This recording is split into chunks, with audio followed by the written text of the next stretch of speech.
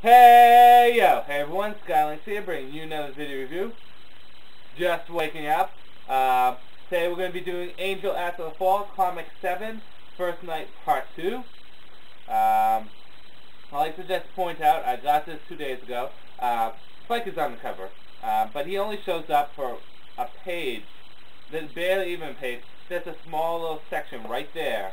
And he doesn't even talk or anything, just shows up there. So I don't know why he's on the cover. Maybe it's the fact that they're trying to promote this poster they have in there.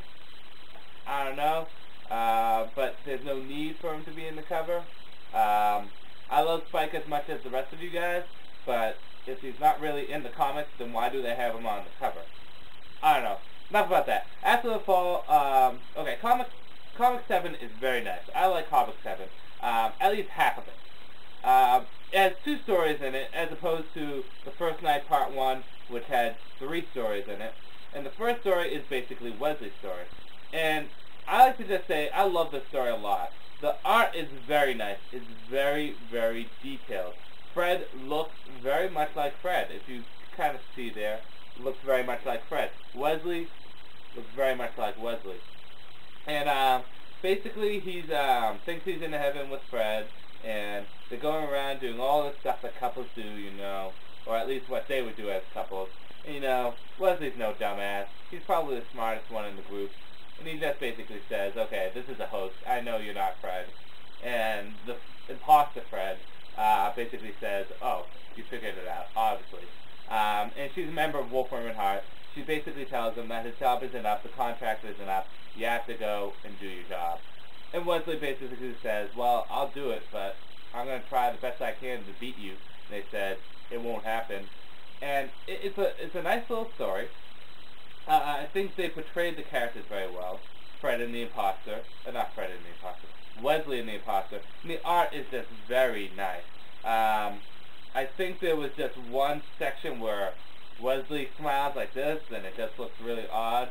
And there's one section where the imposter Fred kind of gives like a grin. It looks odd. Besides those two points, the art looks very, very nice uh, for the Wesley story. So the Wesley story alone is worth buying, for uh, worth buying this issue. And uh, you see Fred half naked and full naked, but it's, it's a cartoon, so we get the fun. Anyway, um, the second story is contains with two characters, and it basically starts off where we left off with Connor, him being dragged away by the demons, about to kill him because he's Angel's son, and then someone blows the shit out of the demons, and guess who it is? The return of da da da da da. Kate. Yeah, Kate. Um, if you remember Kate from season one and season two of Angel, I think she was in season three. I don't remember. I don't think so. But um, she, no, maybe she was. I have to go back. Uh, it's been like five months since I watched Angel. I'm gonna have to rewatch it, but um, it would have to actually be the fourth, uh, not fourth, um, sixth time that I went through watching Angel. But uh, what is it? Kate was the police officer from season one and two that all the viewers thought was going to be made to be Angel's love interest, but it was just why uh, Joss Whedon screwing with us. Angel really never has love interest. I mean, sure he has Buffy and Cordy, but that just ends in disaster. And yeah, because of the curse, Angel can really never have love interest. But guess what? The curse is gone. By the way, in my question and answers, I said soul in the answer for Angel's question. It was his humanity. Never mind. Watch the video and you'll be like, what the fuck? I'm jumping around right now. Okay, so anyways, Kate comes back and she saves Connor, and the story's nothing. It's just like they walk back and they go to her hideout that has a shitload of weapons. She talks to them for a few minutes, and then she leaves. That's it. Nothing great about it. Um, and then you show this guy who's a demon, and he's bald, and he, he's very pale, and he has the psychic fish there, and he's beating up on little girls, and the fish is like, why are you beating up on little girls? And the fish is like, what's a slayer? And obviously there's slayers there, and he's beating the shit out of the slayers. So I think they might make him the big bad. I don't know. Um, the comic's very nice, just for the Wesley story. The art was very nice in the Wesley story, and the Wesley story was actually very nice to read. However, the K, uh, Kate story and the Connor story, I didn't care for too much. However, um, it's definitely still worth picking up.